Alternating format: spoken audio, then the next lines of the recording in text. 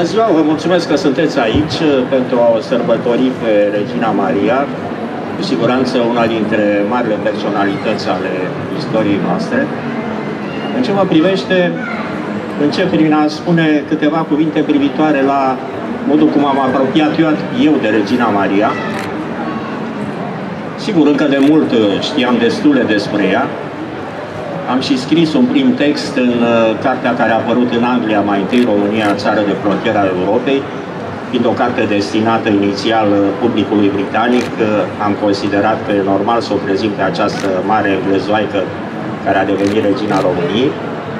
Însă apropierea desăvârșită, dacă pot să spun așa, în orice caz foarte accentuată, s-a petrecut atunci când am lucrat la cartea despre Balcic, Balcic, micul paradis al României mari, Regina Maria fiind uh, un personaj esențial al Balcicului, un simbol al acestui oraș uh, mitic al României uh, interbelice. Atunci am cercetat pentru prima oară cu mai multă atenție și jurnalul, partea inedită a jurnalului Reginei Maria, îndeoseb, desigur, părțile referitoare la sejururile sale numeroase la Balcic. Apoi am scris o carte care a apărut uh, de curând uh, despre suveranii României, suveranii României, monarhia o soluție, unde iarăși Regina Maria așa are locul ei și locul ei am ajuns la concluzia care nu e în fond uh, deloc originală.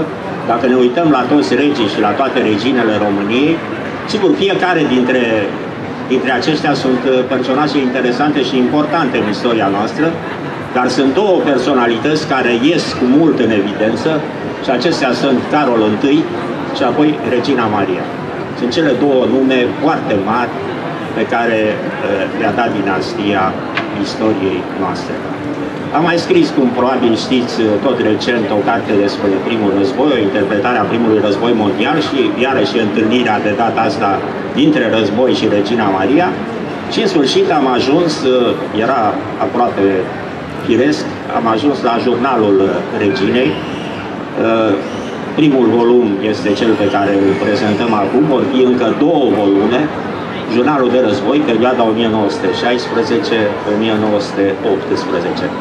În mod oarecum ciudat, dar sigur nu-mi propun să fac uh, critica altor, altor editori sau altor ediții, jurnalul care este în curs de publicare a Reginii Maria a fost început cu 1 decembrie 1918, deci eliminându-se perioada războiului, deși războiul este marea, marea șansă a destinului Reginei Maria. Mitul Reginei Maria provine în primul și în primul rând din ce a însemnat ea în uh, anii 1916-1918. S-au eliminat uh, caietele respective pe motivul uh, parțial justificat al faptului că Regina Maria, când și-a scris memoriile, povestea vieții mele, volumul al treilea al memoriilor, referitor la perioada războiului, este alcătuit într-adevăr din fragmente de jurnal. Deci o parte a jurnalului Reginei Maria a trecut în povestea vieții mele, însă nu este nici jumătate din textul jurnalului. Deci acum publicăm jurnalul în întregime și cu jumătatea sau mai mult de jumătate lipsă din memoriile reginei și cu toate pasajele pe care regina le-a edulcorat sau chiar le-a le, scos din uh, textul memoriilor sale, s-a autocenzurat.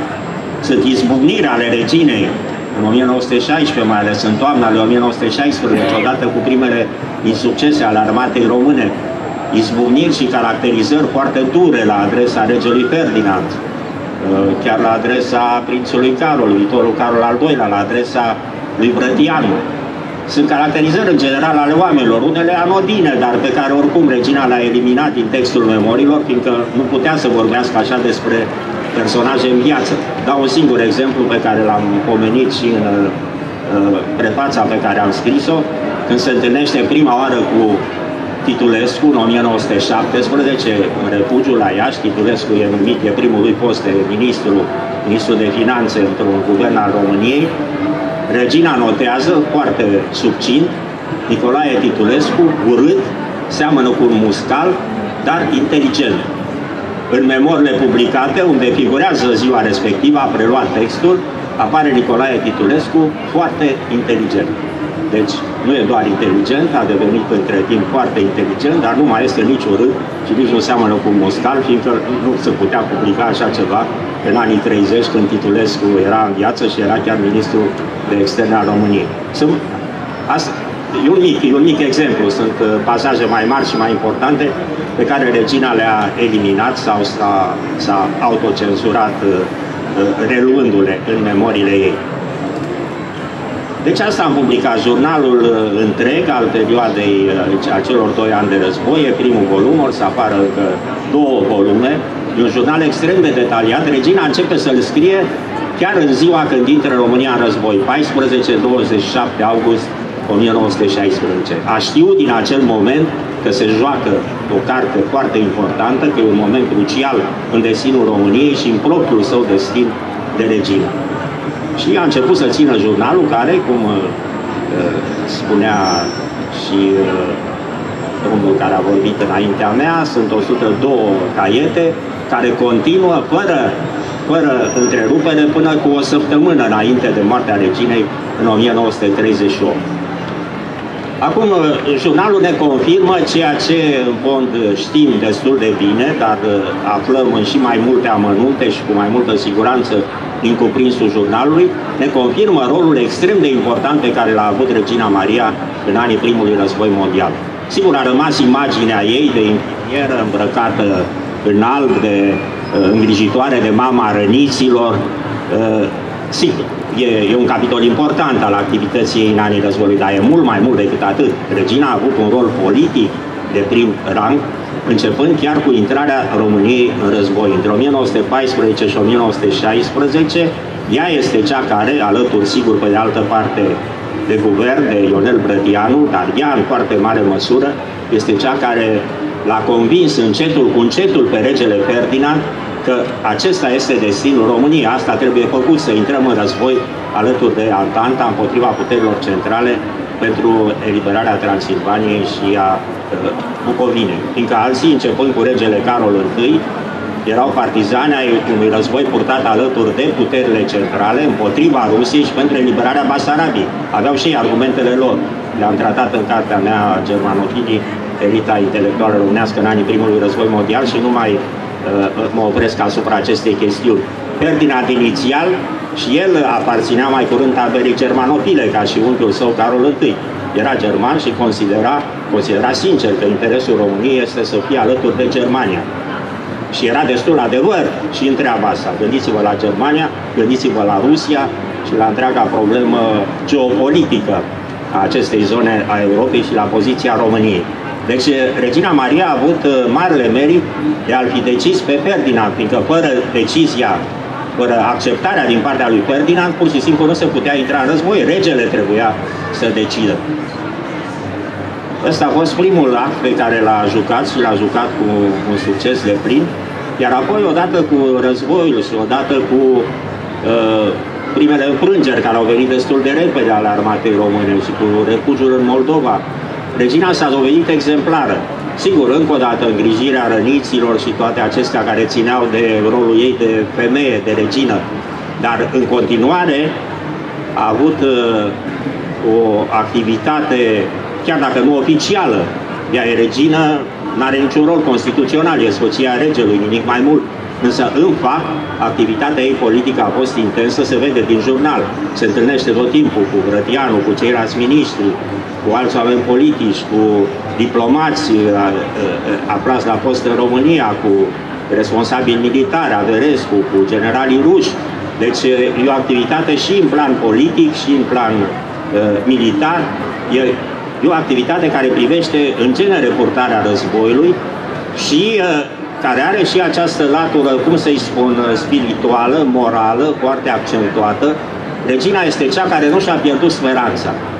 Speranța și-au cam pierdut-o toți pe rând, mai întâi după înfrângerile catastrofale din primele luni de război, apoi sigur că a fost revirimentul din vara lui 1917, Mărăși, Mărășești, Coitus, apoi a fost însă degringolada rusească, prăbușirea în fond a frontului și necesitatea României de a încheia o pace separată, o pace care a fost dezastroasă. Din fericire, nu a fost urmată de efecte, urmând uh, înfrângerea, înfrângerea Germaniei, înfrângerea puterilor centrale. Ei bine, chiar în momentele acestea cele mai grele, și să mărturii ale contemporanilor, când mai toți își pierduseră speranța, nu mai credea nimeni sau aproape nimeni în victorie, regina a crezut neabătut în uh, uh, succesul pe care îl va avea până la urmă România alături de aliații săi. Nu și-a pierdut niciun moment speranța, sigur are și ea momente grele, însă rămâne cu această speranță pe care a comunicat-o și a reușit în bună măsură să o insufle și celorlalți. E extraordinar, am citat de nu știu câte ori vorbele pe care îi le spune generalului Averescu, care venise la putere după guvernul Brătianu, tocmai pentru a încheia armistițiu și apoi pacea separată cu Germania. Și regina îi spune, generale, tu nu mă poți înțelege, eu sunt englezoaică și englezii nu obișnuiesc să piardă.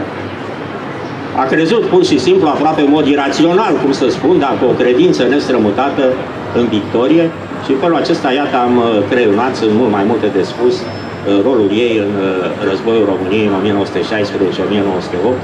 1916-1918, care apare în acest jurnal, apare cu foarte multe detalii, sunt trei mari volume până la urmă pentru acești doi ani, volume de 500 de pagini fiecare, și uh, e, e, e un adevărat roman plin de dramatism, cu o mulțime, o mulțime de personaje, uh, scris, uh, scris cu talent, cu, cu un talent literar efectiv, cu portrete memorabile, Iată, pe scurt, ce am putut să spun în câteva minute despre Regina Maria pentru a vă recomanda această piesă excepțională care este uh, jurnalul ei de război. Vă mulțumesc!